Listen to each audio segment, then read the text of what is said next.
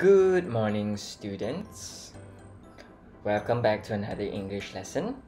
Today we're going to finish up chapter 3, and you get to choose your favorite rhyme.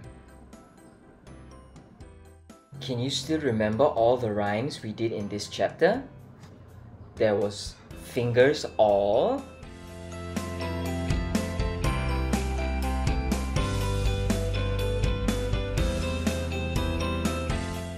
Then there was one, two buckle my shoe, and Oliver Twist.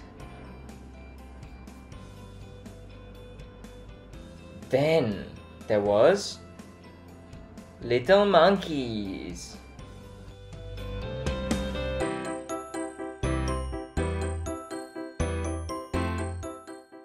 Then there was Fire.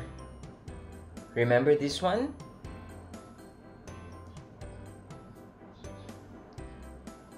Good. And finally, we did You Can Swim, Jim.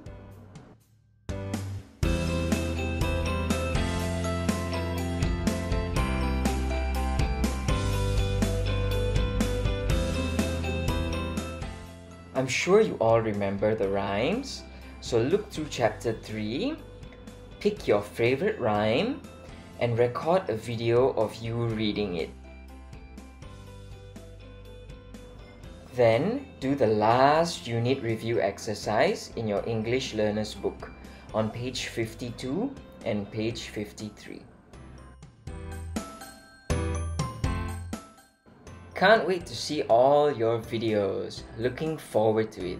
See you on Monday. 拜拜。